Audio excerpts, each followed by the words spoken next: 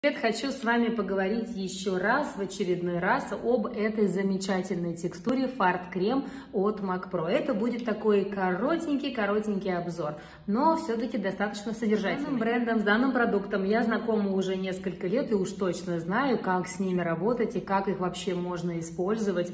Это знаете, на что похоже? Если вы не любите этот продукт или он вам не понравился, то вы просто не умеете с ним работать. Это как вы не любите кошек, да вы просто не умеете их готовить. Это самая банальная мысль, что это плотные восковые корректоры и что они не совсем стойкие, что они закатываются в морщинки и так далее. Ребят, ну надо просто уметь с ними работать, уметь их смешивать с другими продуктами. А самое главное, это не совсем так.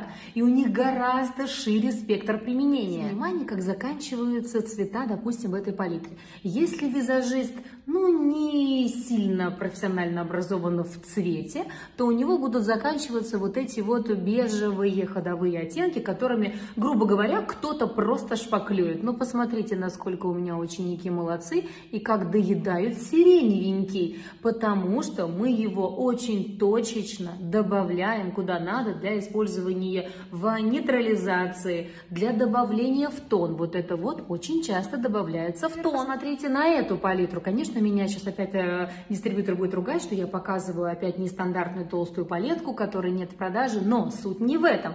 Обратите внимание, как заканчиваются, как глубоко доели яркие цвета, именно фиолетовые, синие, зеленые, доедают ученики, реально доедают. Мы активно ее используем. Конечно, мы ее используем не в чистом виде, а просто малейшими такими крошками. Чем ярче цвет, тем меньше его понадобится в использовании для добавления. Тем самым он гораздо меньше повлияет на саму структуру косметики. То есть, если я буду этот сиреневый или синий добавлять в тональный, то тональный станет явно другого оттенка, но абсолютно не изменится его текстура, его стойкость, его жидкость вообще не пострадает. Структура просто очень произойдет резкое изменение самого цвета тона. Мы можем пользоваться не только как корректорами, но и как аджастерами для добавления, как а, микропигментом для добавления, для разбавления, для изменения. Например, вот эти вот цвета очень часто использовали в коррекции, в моделировании, не в чистом виде, конечно, добавляя в уже уже готовый продукт, да тот же коричневый аджастер от Mac мы очень часто разбавляем вот этими вот оттенками для получения нужного нам подтона коричневого. Допустим, яркие цвета можно использовать в качестве подложки под макияж, где-то локально, где-то точечно. Честно, мне не нравится использовать в качестве подложки полноценно эту текстуру. Да, вот такая вот странная реклама, кто-то может подумать. Ну, потому что это не реклама, это обзор. Мне не нравится использовать полноценно в качестве очень сложного сложного цветного макияжа, потому что для этого мне нравится использовать более водостойкие текстуры. Это тоже является водостойкой, но все-таки подскатываться, заламываться в какие-то морщинки может, ну не у всех же такое шикарное высокое веко, как у Людовика Владимировича, правильно?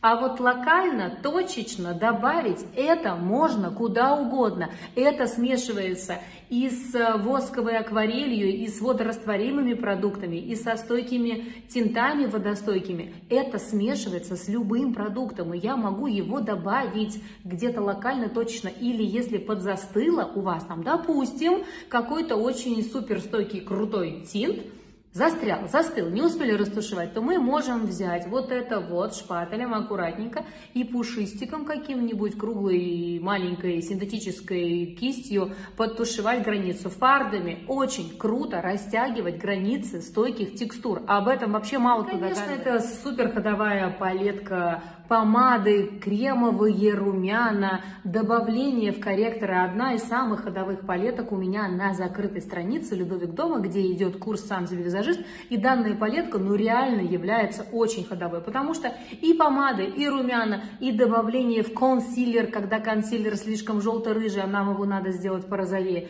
Пальчиком аккуратненько, ноготем, шпателем, кисточкой, тут уже сами решайте. Я-то, конечно, могу себе позволить много чего, но я работаю шпателем, между прочим. Это видно по шкрябанию. Я собрала для вас две свои палитры и ждите, скоро они появятся под охренительными названиями «Реставратор» и «Реаниматор». Это будут очень крутые рабочие палетки по моделированию и нейтрализации.